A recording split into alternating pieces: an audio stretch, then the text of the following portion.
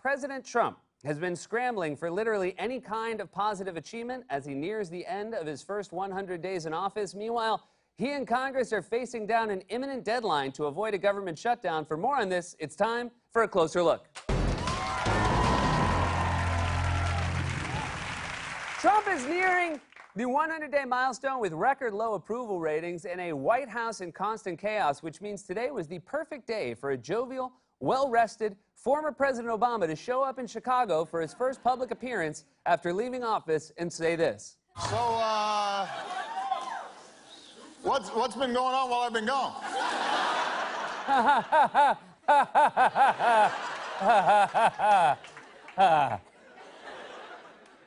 Everything! Everything has been going on. Of course, after that comment, Obama threw on some shades, kite surfed out of the auditorium, and yelled, Somebody give me a Mai Tai! But Obama's first post election public appearance was especially well timed because Saturday will mark the 100th day of Trump's presidency, which is traditionally when presidents get their first big report card on their performance so far. And this will shock you. Most people think he's not doing great. We have our brand new NBC News Wall Street Journal poll to tell us just how Americans think the president is doing as we approach day 100. In short, not well the worst approval ratings around the 100 day mark for any president in modern times. He laid out a very detailed 100 day contract, he called it Obamacare, tax reform, border wall funding, infrastructure spending, new trade tariffs, labeling China a currency manipulator, ending the Common Core education standards. 100 days in, or one week from 100 days anyway, incomplete at best. None of this, none of this has been done. None of this has been done. If this were a movie, it would be called 100 Days and Confused. Now, the polls did have one bit of good news for Trump, which is that if a new election were held today, Trump would win over Clinton 43% to 40%. And of course, Trump could not help but brag about those numbers, tweeting yesterday new polls out today are very good. Considering that much of the media is fake and almost always negative, would still beat Hillary in popular vote.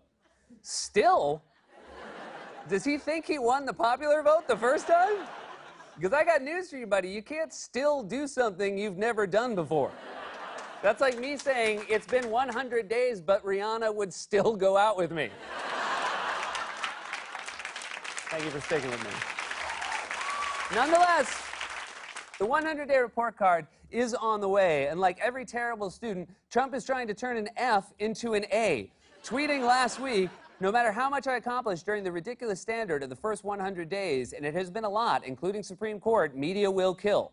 Yeah, the 100 day report card is an arbitrary, meaningless political milestone that most people don't actually care about. Most people, that is, except Donald Trump. I propose a contract with the American voter. It's a set of promises for what I'll do in my first 100 days. What follows is my 100 day action plan to make America great again. Just think about what we can accomplish in the first 100 days of a Trump administration. And then, after you've thought about it, tell me what you came up with because I've got nothing. so, as the 100 day milestone nears, Trump has failed to deliver on almost every one of his major legislative promises. Now, there are many reasons for this, including Trump's ignorance about the basic political realities of governing. In fact, Trump is so ignorant, he's ignorant of his own ignorance. For example, he apparently just learned that there were different factions within the Republican Party and talked about it as if it was a brilliant insight, telling the AP in an interview the Republican Party has various groups, all great people. They're great people, but some are moderate, some are very conservative, and I think it's fine. Trump is like an annoying eight year old kid who just got home from school. Did you know fish can breathe underwater by using their gills? Yeah, Timmy, I did know that. Everybody knows that. Now go suck on your juice box. In fact, Trump even seems to have trouble remembering the names of congressional leaders, as we discovered last week when he kept referring to House Speaker Paul Ryan as Ron before catching himself and trying to save it. My thanks go to Speaker Ryan, who's represented this city for nearly two decades in Congress. And you know where he is? He's with NATO.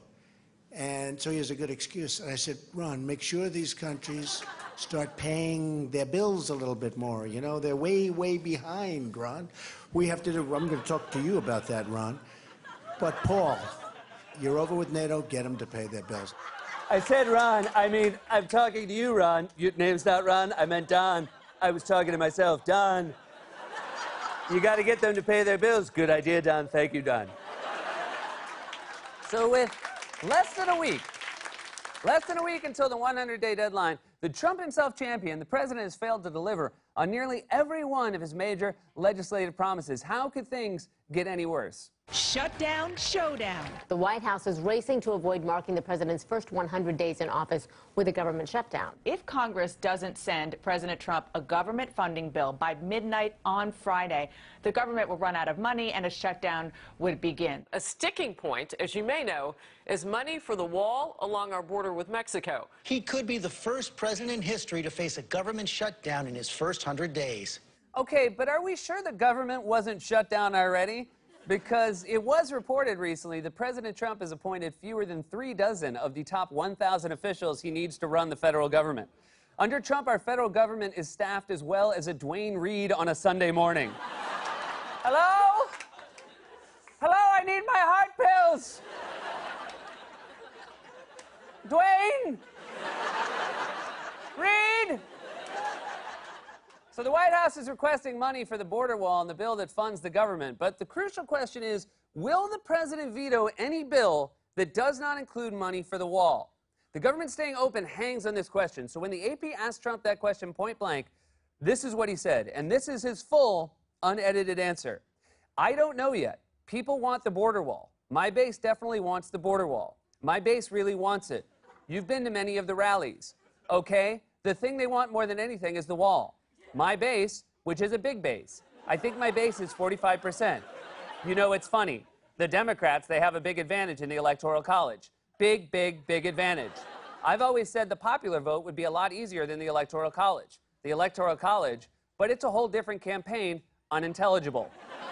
As opposed to everything up to that point, which had been super intelligible. But let's get back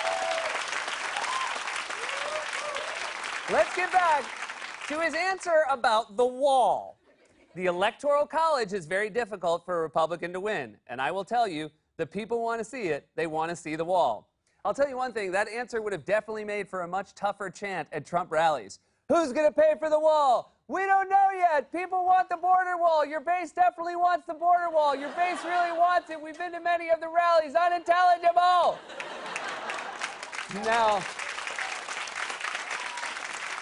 Trump's answer on the wall might be confusing to you for many reasons, including the fact that, as you may recall, Trump promised repeatedly that Mexico will pay for the wall. And on Sunday, he took to Twitter to settle the discrepancy with his signature bravado, declaring unequivocally that without any hesitation that eventually, but at a later date, so we can get started early, Mexico will be paying in some form for the badly needed border wall. Trump's tweets are starting to sound like the fine print on a contest to win a free cruise. Cruise will be awarded eventually, but at a later date in some form. The cruise will not necessarily be on a boat, but may in fact be on a raft or a piece of driftwood. While the cruise is free, each passenger must pay a $10,000 floating fee.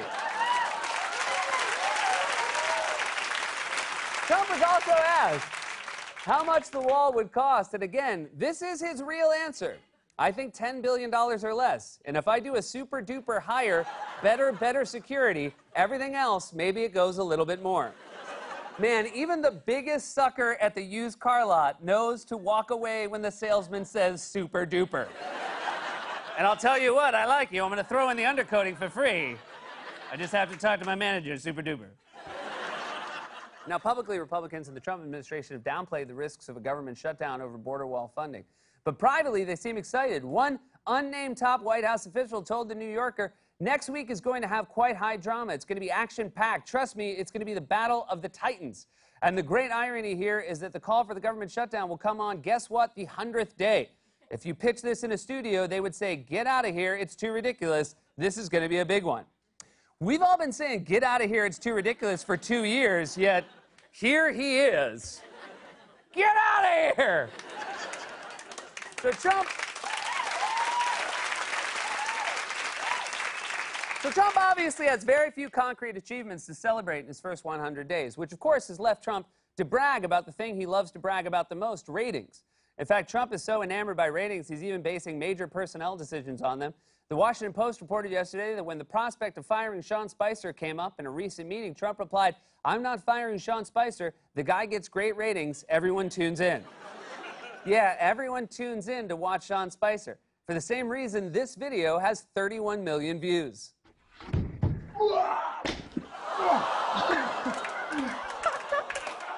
Incidentally, Trump just made that guy Secretary of Pools. So Trump is facing a 100 day milestone with virtually no successes to brag about, which may be why, when asked by reporters last week about the sudden flurry of activity and how his administration was doing as it neared the 100 day deadline, he resorted to the most meaningless platitudes possible. Could you speak to us briefly about all the legislative action that you're planning next week? How are you going to accomplish all of that? It's going to be great. Well, it'll happen. You're going to do health care and tax It'll reform? happen. We'll see what happens. No particular rush, but we'll uh, we'll see what happens. But healthcare is coming along well. Uh, government is coming along really well. That's the President of the United States saying government is coming along really well. It's like going home to your wife and saying, Hello, wife, our marriage is coming along really well. This has been a closer look.